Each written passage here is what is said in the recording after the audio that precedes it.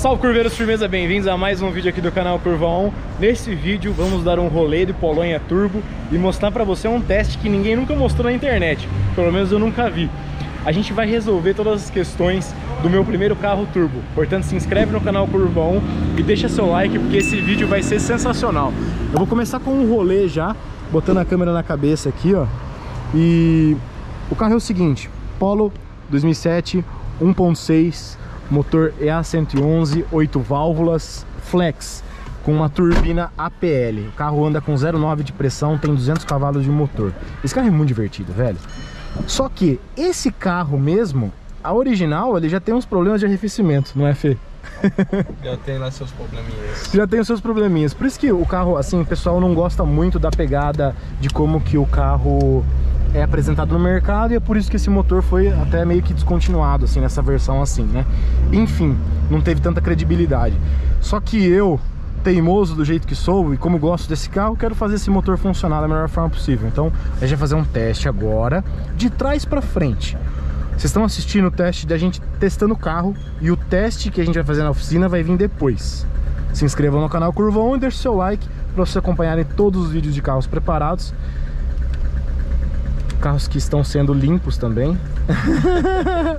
Depois eu dou um banho legal nesse carro.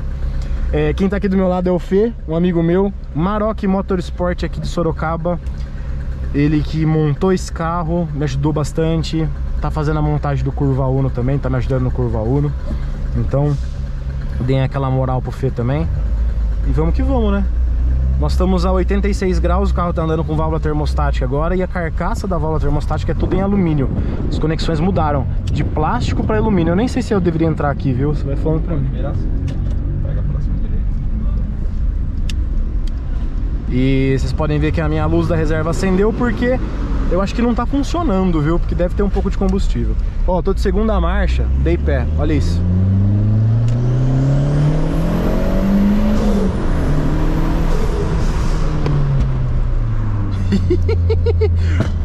uh! Esse carro é muito divertido, velho. Então tá na temperatura de trabalho, a gente vai andar com ele de boa, vai dar umas aceleradas para ver se vai subir. O curioso é, eu não tenho nada de fluido de arrefecimento que não seja água desmineralizada dentro do radiador e do reservatório do carro. Por quê?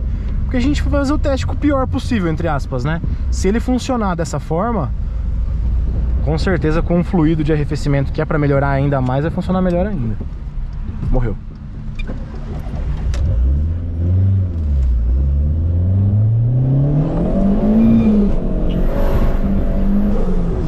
Olha essa segunda, velho. Muito da hora. Será que agora funcionou o sensor de temperatura de admissão? Então, é engraçado é isso. Conforme o motor tá torcendo dentro da carroceria, ele tá marcando a mais ou a menos. Temos algum mau contato de conector aí. Ah. Agora ele tá marcando ok. Mais ou menos o que deve estar tá acontecendo de realidade lá dentro mesmo, 71 graus de temperatura de ar. A gente vai derrubar bastante essa temperatura quando a gente instalar o intercooler, mas por enquanto tá sem intercooler. Mas pelo que eu acelerei, ele subiu bastante, né? Parece Mas que ele deu bugada, né? Deu bugada, exatamente. Não tá marcando algo real, não. Ó, deu um pico muito rápido. É desse sensor que eu tô falando aqui, ó. Tá 167 de pico. Não deu 167, irmão. tá 63 agora. Agora deve estar tá marcando corretamente. Sim. E o motor tá 85. A gente tem a pressão, a pressão do óleo aqui, 2.2 bar na lenta. Na verdade é 0,9 na lenta, 1 não, 1 e 3 na lenta mais é, ou menos. Na verdade ele vai ficar entre 0,9 e 1. A marcha lenta desse. E, aqui é a pressão de turbina. Ó na acelerada que eu dei, deu 0,94 de pico. Que da hora. Vou dar uma acelerada aqui, ó. Vou carregar até, hein. Puxei freio de mão.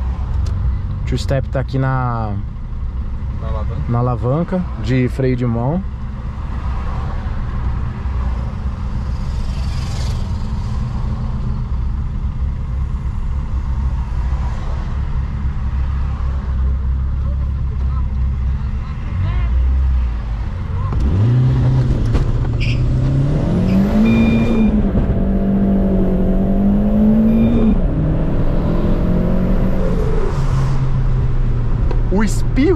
Carro é a coisa mais animal do mundo.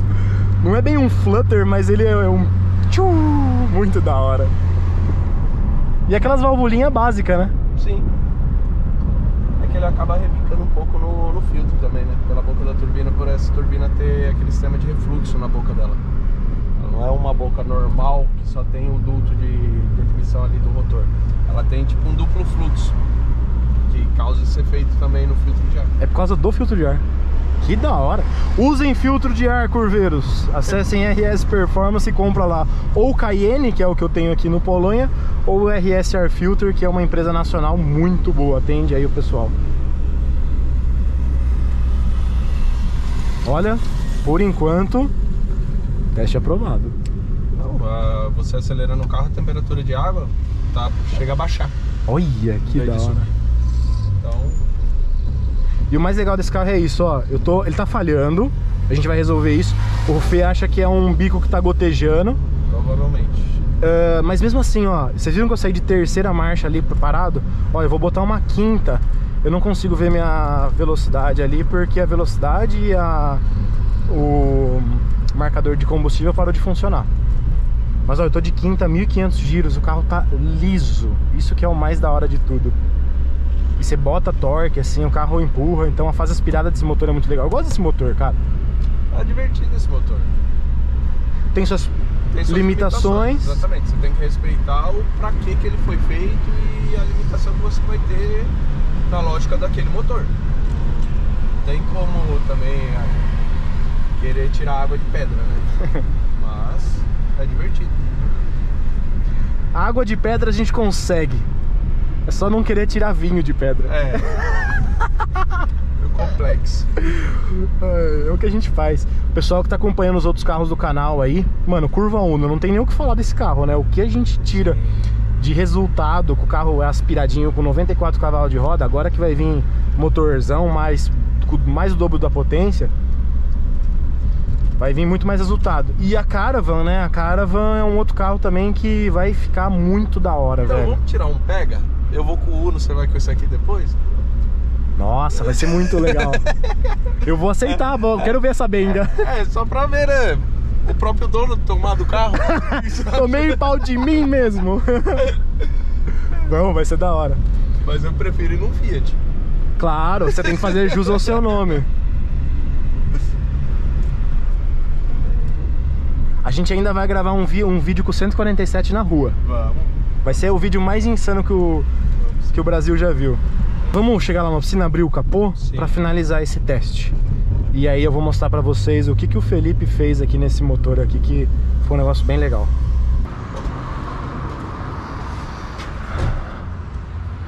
Olha só que curioso. A gente esgotou tudo e colocou só água desmineralizada. Tem fluido aqui. É, ele fica um pouco por causa do resquício que fica dentro do motor, né? Mas, se você ver a proporção, vai estar extremamente baixa. Mas tá mais bem como ro- corante. Ah, sim. Tá, é que mais tá- como corante Entendi. do que como eficiência mesmo de troca de calor. Entendi. Aí você vai esgotar tudo de novo e Tudo botar de o novo, fluidão. Botar o fluido de Quer, acordo aí. quer testar esse fluido de Honda que o pessoal falou?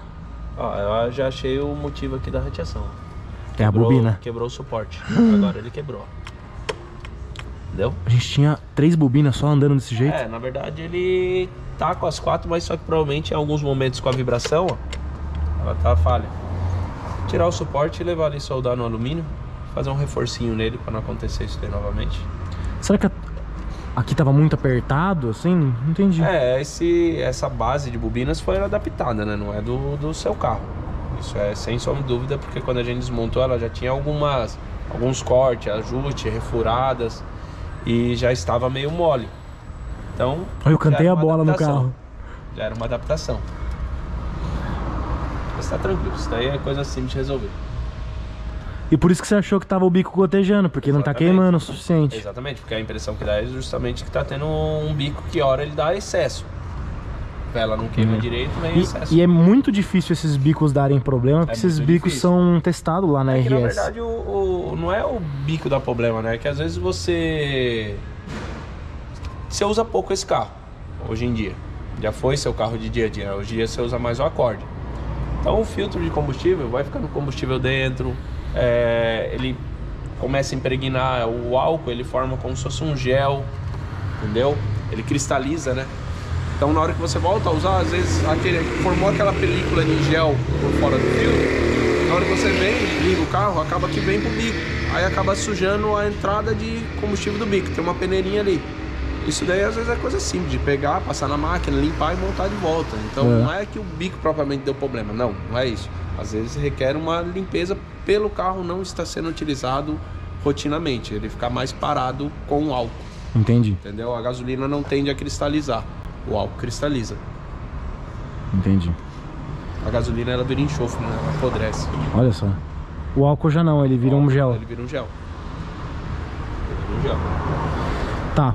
ahn, então, Polônia vai ficar aqui. Vai ficar com a gente aí. O Fê vai resolver a Probleminha da régua. da régua. TPS que, que tá com o TPS, conector é, zoado. conector, Esse aqui, ó.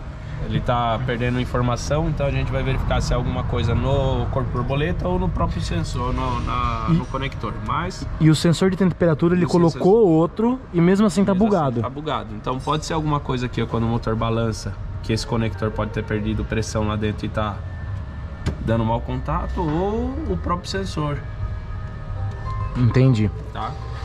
É, Mas a gente tem a tranquilidade que foi substituída a, a termostática, tá aqui, né? Ah, Esse legal. cavalete inteiro, agora é de alumínio. É, Pelos testes que a gente fez e tudo mais, tá ok, era só isso mesmo o problema do carro. Momento algum você acelerando ali, o carro passou de 87 graus. Hum, E hoje a gente tá num dia aqui mais temperatura normal de Sorocaba, não tá aquele dia frio, então é um teste bem real. aham. É, mas ainda a gente vai ter um- uma ajuda aí a mais. Que a ideia é vir o intercooler, né? Isso. O próximo vídeo, ô Curveiras, eu acho que é a, é a instalação do intercooler. Mano, tô animado, hein? Vai ser muito vai ver louco. agora aqui para desmontar o para-choque, tudo, ver o, o dimensionamento do intercooler, por onde vai passar a pressurização e tudo mais, Hum, para fazer a instalação do intercooler. Com isso, já vai ser mais saudável também para todo o conjunto do motor. Se o ar admitido for mais frio, o motor também tende a, a respirar melhor, né? sim. Então, um aditivinho bom aí, Maravilha. vamos que vamos. É, acompanhem agora o teste que a gente fez. Que da hora o teste, mano. Vamos ver o, o jeito certo, né, que o pessoal fala. Vamos lá. Olha o equipamentinho aqui, ó. Ó, que chique, mano. Ferramenta Raven. Bagulho fino. Isso daqui ajuda bastante a gente dar uma diagnose mais precisa do que está acontecendo com o veículo. Aí, ó. Olha que curioso. A ferramenta tá aqui. O Felipe vai explicar logo mais como é que funciona. E olha como que então aqui é onde seria as válvulas, as velas do, do carro, né? Isso, é o junto de, de, de vela. Então, o que que acontece? Os dois cilindros do meio são cilindros gêmeos, do mesmo jeito que os das pontas são gêmeos. A gente coloca o relógio comparador para ter a precisão que realmente o pistão é, gêmeo está no ponto morto superior, para ter um teste 100% preciso. E aí, em seguida, a gente engata uma quinta marcha lá, deixa o carro freio de mão puxado, para o motor não ter como girar na hora de começar a injetar ar comprimido. Injeta o ar comprimido pela ferramenta e aí consegue ver que a gente vai estar injetando os PSIs, tá? E ali a gente vai ver o quanto de estanquidade vai estar tendo no cilindro, Que da hora. entendeu? Então aqui mostra o quanto de pressão que está injetando, vai até Isso, 120 PSI, isso. e aqui mostra o quanto que vai vedar. Que vai Então estancar. se tiver no vermelho, já era, tá, ruim. morto, é, Tá passando para algum lugar aí. No, no, no amarelo já tá meio ruim, já tá bem ruim, É, cansado. o ideal é no, no- na, na tarjinha verde ali, No verdinho. entendeu? Tá. E se caso a gente, a nossa preocupação é que o carro tenha uma passagem é, de compressão para o sistema de arrefecimento, se caso tiver e ali não estancar, o reservatório vai borbulhar. Ah, Entendeu? entendi. Então- Além de aparecer aqui, ele vai borbulhar água aqui. Exatamente, você vai conseguir identificar para onde está indo essa pressão que está subindo ali. Se está indo para uma válvula de escape, se está indo para uma válvula de admissão, você consegue, através de ver se está dando fuga de ar Na turbina. na turbina ou no escapamento, consegue identificar qual é o diagnóstico desse cabeçote. Não é para o certo não é pra acontecer nada. Não. Não é isso- vazar a árvore de nenhum lugar. Isso daí, na verdade, a gente costuma fazer pra quê? É, você já acaba mandando, se o cabeçote tem um defeito, você já consegue mandar para retífica, tendo uma constatação mais ou menos do que está acontecendo com ele. Então o cara já vai se atentar, pô, a válvula de escape não está vedando direito do cilindro 3. Você já manda um informativo pro cara, ó, verifica aí, porque ou ela tem algum empeno ou ela não está sentando direito. Então, querendo ou não, se torna um negócio mais confiável. Legal. Da hora. E evita também de você fazer uma desmontagem desnecessária. Sim, né? você ganha É, tempo, né? exatamente. Ferramentinha ba- bacana essa aqui. Legal. Vamos lá. Vamos lá. Wallace, gata aqui, então ela solta o freio de mão. Ó o Wallace. Salve Wallace! Gatou a quinta ali. Vem pra frente. Vai. Ao contrário. Ao contrário. Devagar. Então agora eles estão colocando o cilindro Um exatamente no. Pode puxar o freio de mão. É P. Como é que é? P? PMS. PMS. Ponto morto superior. Ponto morto superior. É o cilindro mais pra cima possível. Se você ver aqui, ó, o relógio ali zerou. Tá? Tá no 00. Então Aham. Legal. Que da hora. é pra Como que ele funciona? Esse, esse relógio, você fala? É. Aqui a gente tem um prolongador. Lá ele tem um pino que tá apoiando na cabeça do pistão Ah, mesmo. literalmente ele encosta no pistão. Literalmente. Literalmente ele tá encostando lá. É bom. Entra lá e pisa no freio pra não ter. Pra garantir que ele não vá pra trás. Na, pra frente, quer dizer, né? Porque o carro tá de quinta, vocês imaginam, quinta marcha, ele vai começar a empurrar bastante ar de pressão ali no pistão. Se o pistão for pra baixo, o carro vai andar, né? Comecei a injetar ar comprimido. Tem válvula aberta. Nossa, não tá vedendo nada. Tem válvula aberta aqui. Espera aí que a gente vai ter que movimentar ele um pouco.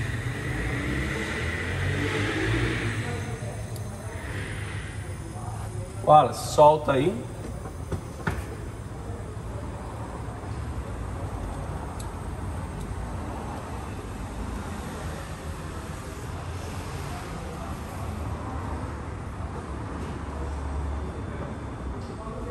Pode frear aí. Injetou 80 PSI. Opa, tá indo bem. Chegou no ponto verde limite. Cilindro tá ok. Tá, o que aconteceu ali atrás que eu não entendi então? A válvula ficou entreaberta ainda. Ela ainda ficou... Faltava acertar ali a então posição. ela ficou um pelinho aberta, você pode ver que já. Ufa, é já, sei que eu tinha perdido o mo- É, já, já não dá certo o teste. Então tem que ficar atento. Legal, então deu Olha, certo. Olha como é que tá tá. injetando ar. Injetando 80, 90 PSI e tá com 19 de estanque, por cento de estan- Isso. estanqueidade. Então você olha ali, ó. Nada no arrefecimento. Você vê que tem uma vedação legal das válvulas. É. É normal dar uma sopradinha pelo respiro, porque querendo ou não, você está injetando muito ar no anel, então ele tem uma certa limitação também de conseguir vedar. Com 0,9 Mas de tá pressão, tranquilo. 0,9 de pressão, que esse carro anda na rua, Sim. é... quantos PSI? Putz, aí eu falo pra você de cabeça, eu não tô num dia saudável pra te O- responder isso. é, o a Felipe, poder- Felipe tá doente. Eu vou botar pra na tela aí, ó. Então a gente vai saber quantos de pressão de turbina ele tá colocando aqui agora. Olha lá, a carcaça da válvula termostática tá exatamente aqui, ó. E aqui é a conexão que vocês viram pular aí quando eu acelerei. Então, isso daí pode fazer eu perder toda a água do motor. Vocês podem ver até que tem um monte de marca aqui de, de arrefecimento, né? Ó, espirrou até aqui em cima. Essa carcaça, Felipe, vem dali até aqui em cima? Não, ela passa por trás do blo- bloco. Ela é fixada na lateral do cabeçote e faz a conexão com a bomba d'água lá na parte de trás do motor. Entendi. Então imagine que isso aqui, ó, tá montado de assim ali. Aqui tá fixado no cabeçote e esse tubo tá indo lá nas costas da bomba d'água. E é exatamente isso aqui que pulava do, do- de plástico aí. Da conexão, né? Que É. agora é uma peça, provavelmente um, um alumínio aí meio parecendo um antimônio, vai. Um alumínio mais poroso. Mas você pode ver que ele tem uns parafusos meio. A gente costumava chamar esses parafusos quando andava de kart, que é parafuso mosca. Pra não poder não pular nada da conexão. Maravilha. Vai dar bom. Top. Então, o- Wallace, cadê ele? Está ali, ó. Agora. Mestre Wallace vai meter a mão aí e fazer a substituição da, da- dessa carcaça aí, válvula termostática. Então é isso, curveiros, eu espero que você tenha curtido bastante esse vídeo. Se inscreve no canal Curvão, deixa o seu like, participa do sorteio da Caravan e bora meter um intercoolerzão no Polônia. Tô animado. Tamo junto, Corvettes. So